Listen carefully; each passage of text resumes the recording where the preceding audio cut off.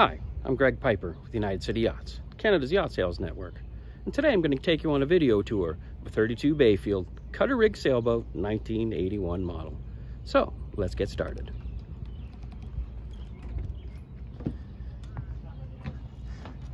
So this Bayfield 32 is in very good condition for its age.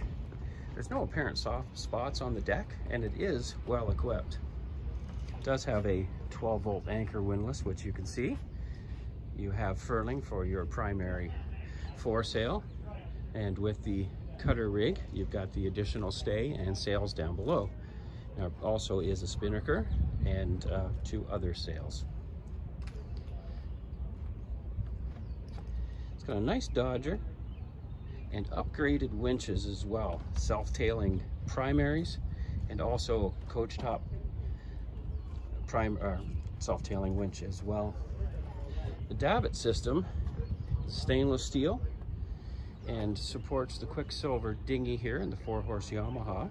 And both of these items come with this boat.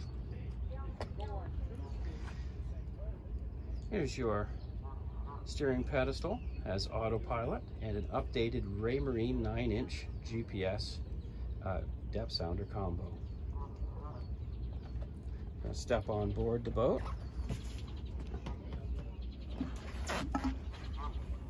Now the owner does report that everything works on the boat with the exception of the ST60 wind apparent and true instrument. Uh, could be troubleshot. All right, so heading down below. It's your typical sailboat layout with opposing settees, both convertible to provide additional sleeping areas for guests. Heading forward on the boat takes you right into the V-berth. It's got a good long V-berth, sleeps two very comfortably. Lots of storage on these 32 bay Bayfields. Now taking you to the bathroom area has a door that doubles as a privacy door for the bathroom or the cabin itself.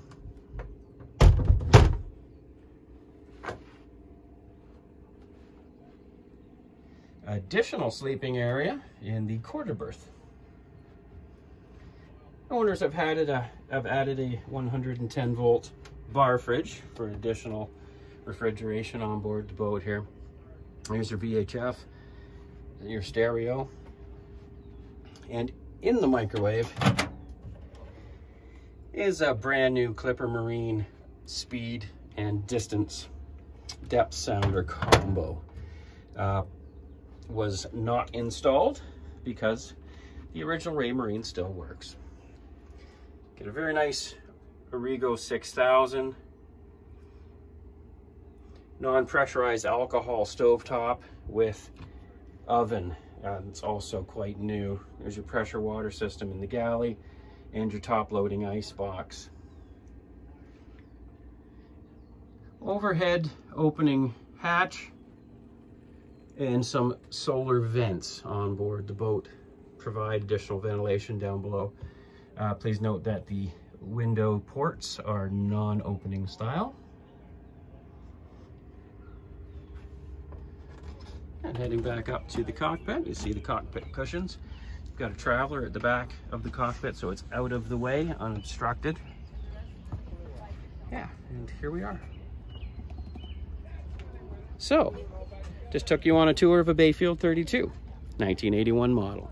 And it's available for sale, and more details can be found at unitedcityyachts.com. Visit us for your financing and cross-border needs as well. I'm Greg Piper. Thanks for watching.